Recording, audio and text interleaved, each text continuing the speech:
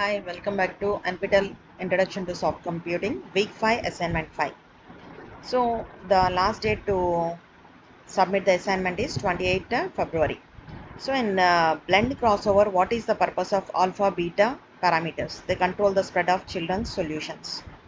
How does simulated uh, binary crossover differ from linear and uh, blend crossover in terms of choosing alpha value? Simulated binary crossover requires a probabilistic approach for alpha and consider two parent sequences for, for a genetic algorithm. Parent 1 2 3 4 5 6 7 8 parent 8 7 6 5 4 3 2 1 what off, offspring sequences will be if we perform single point order crossover after position 4 it will be offspring 1 2 3 4 8 7 6 5 2 is 8 7 6 5 1 2 3 4 consider two parent sequences for a genetic algorithm. Here they had given some uh, uh, sequences what will be the offsprings if the operation will be on the positions 3 5 7 so that is offspring uh, i b g d e f c h a. And the offspring 2 is a h c f e d g b i.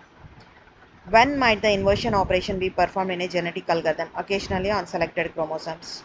The fitness scaling is useful to avoid premature convergence and slow finishing in the context of multi-objective optimization problems, a set of trade-off optimal solutions is commonly known as a non-dominated solutions.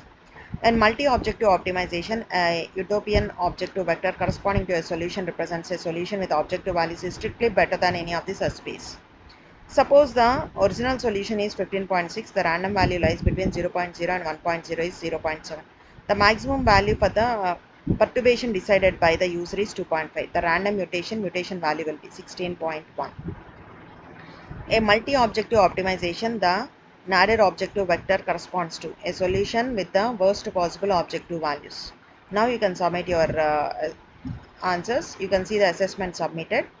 If you have any doubts regarding the questions you can comment in the comment box. Subscribe the channel